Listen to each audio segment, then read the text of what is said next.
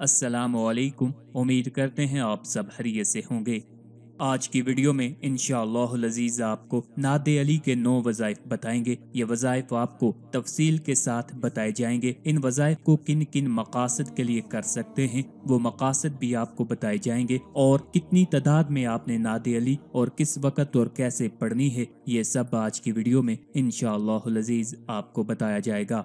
Video शुरू करने से पहले आपसे गुजारिश है, अगर अभी तक आपने हमारे चैनल को सब्सक्राइब नहीं किया तो सबसे पहले हमारे चैनल को सब्सक्राइब कर लें ताकि आपको हर नई वीडियो बसानी और सबसे पहले मिलती रहे।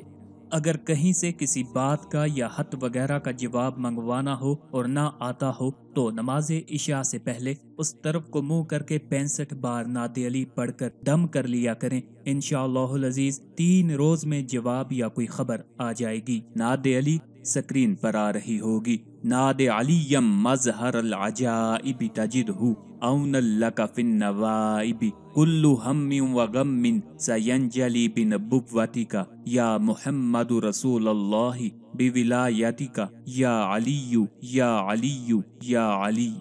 अगर आप गैबी तरीके से मालो दौलत और रिजक चाहते हैं तो रोज़ाना इक्यानवे मरतबा नाते अली को बाद नमाज़ फजर पढ़ने का मामूल बना लें। चंद रोज में आप कुछ से कुछ हो जाएँगे। आपको चाहिए कि से ताजिंदगी इस अमल को, यानी इक्यानवे मरतबा रोज़ाना नाते अली को बाद नमाज़ फजर पढ़ना तरक ना करें और वक़्त और जगह की पाबंदी ज़रूर करें। और अगर कहीं जाना हो तो मुसल्ला ज़रूर साथ ले जाएँ और उस पर बैठ कर इस अमल को करें। तो इन अज़ीज़, चंद ही दिनों में आप अपनी आँखों से देखेंगे कि आप मालो दौलत से माला माल हो जाएँगे। अगर आप बे इंतहा मालो दौलत चाहते हैं तो आपको चाहिए कि 500 बार नादे अली रोज़ाना पढ़ने का मामूल बना लें। वक़्त और जगह एक बार जब आप मुतन कर लें तो फिर उसी वक़्त और उसी जगह पर बैठकर आप नादे अली का वजीफा करें तो इन लजीज चंद ही दिनों में आपकी काया पलट जाएगी और आपके पास इतना मालो दौलत होगा कि आप खुद परेशान होंगे।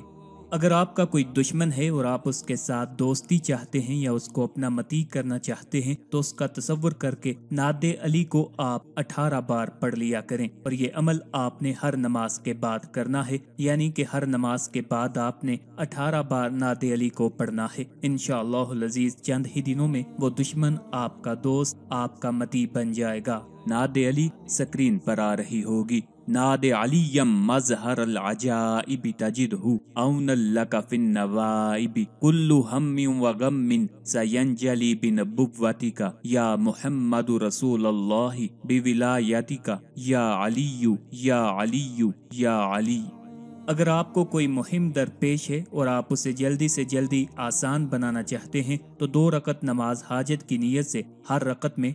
अलहमद शरीफ के बाद तीन तीन बार सुर अहलास पढ़ें, यानी कुल अहद पढ़ें और उसका सवाब हज़रत अली मुर्तज़ा रज़ी अल्लाह तु को बख्श दे। उसके बाद सत्तर बार नाद अली पढ़ें। इन उसी दिन आपको कामयाबी हासिल होगी। जो भी मकसद, जो भी काम, जो भी मुहिम आपको दरपेश होगी, वो उसी दिन हल हो जाएगी। अगर हल ना हो तो आप ये अमल तीन दिन तक करें। इन लजीज आपका मसला हल हो जाएगा।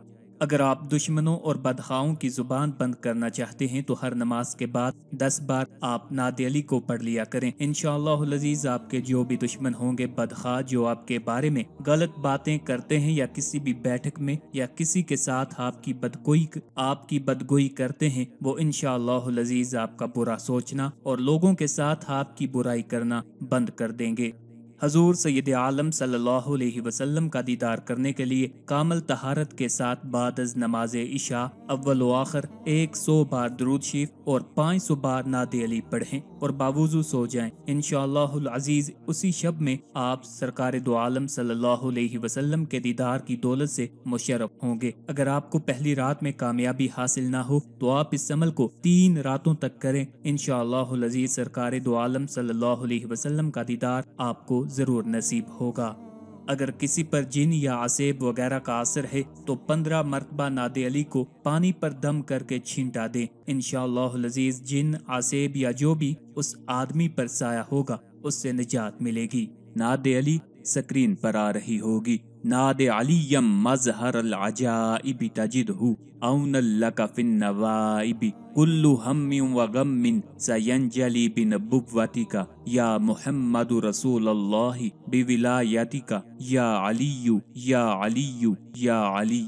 अगर किसी पर किसी किस्म की कोई तोहमत लग गई हो या कोई मुलजम किसी अल्जाम में पकड़ा गया हो तो तासफाई चालीस मरतबा हर रोज नाद अली को पढ़कर अपने ऊपर दम कर लिया करें। तो इंशाजीज तोहमत से या इल्ज़ाम से वो शख्स बहुत जल्द बरी हो जाएगा। इन वज़ायफ को करते हुए कुछ बातें आपने अपने जहन में रखनी है। जो भी आप अमल या वजीफा करें तो उससे पहले अव्वल व आखिर कम अज कम ग्यारह बार द्रूद पढ़ लें। द्रूद आप कोई भी पढ़ सकते हैं। वजीफा शुरू करने से पहले कम अज कम एक रुपया, पाँच रुपए या ग्यारह रुपए या अगर साहब इस्तात हैं तो इक्कीस रुपए निकाल कर किसी मोहताज को सदका कर दें। वजीफा पढ़ते वक्त साफ़ सुथरे कपड़े पहने बावजू रहें और जिस जगह वजीफा पढ़ा जाए, वो पाक और साफ़ हो, और अगर मुमकिन हो तो खुशबू का अपने बदन या कपड़ों पर इस्तेमाल भी कर लें। वजीफा पढ़ने का वक़्त बाद नमाज़ इशा या बाद नमाज़ तहजद या फजर की नमाज़ से पहले या फिर फजर की नमाज़ के बाद सूरज जब अच्छी तरह तुलू हो जाए है। मगर जो वक़्त मुकर किया जाए, फिर रोज़ाना उसी वक़्त पर आपने वजायफ को करना है। वजीफा तनहा जगह पर पढ़ा जाए और किसी से वजीफा पढ़ने का ज़िक्र ना करें। किसी नजायज हाजत या काम के लिए वजीफा को ना करें। ऐसा काम जो शरीयत मुकदसा के अहकाम के खिलाफ हो, उसके लिए कोई भी अमल या वजीफा ना करें।